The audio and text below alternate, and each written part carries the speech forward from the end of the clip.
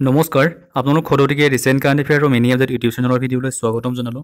চ' বন্ধু বান্ধৱীসকল এটা বহুতেই ভাল খবৰ।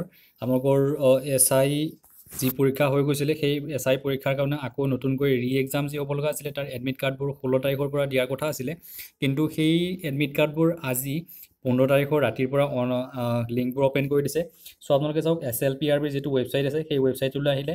ইয়াত ওপৰতে পাব লিংক ওৱান আৰু লিংক টু এই দুটা লিংক পাব। এই লিংকটোত আপোনালোকে ক্লিক কৰাৰ লগে লগে আপোনালোকৰ এডমিট কাৰ্ড ডাউনলোড কৰা যিবোৰ লিংক আছে সেই লিংকবোৰ অ'পেন হৈ যাব। এইটো চাওক যে written test for the written test for the recruitment of S I U B government of Assam চ' ইয়াত আপোনালোকৰ application number date of birth দি কেনে আপোনালোকে এডমিট কাৰ্ডবোৰ ডাউনলোড কৰি ল'ব পাৰে। চ' আৰু যদি কিবা অসুবিধা পায় টেকনিকেল অসুবিধাৰ কাৰণে এই নম্বৰটো আছে এই নম্বৰটোত আপোনালোকে দিনৰ সময়ত কল কৰি ল'ব পাৰে।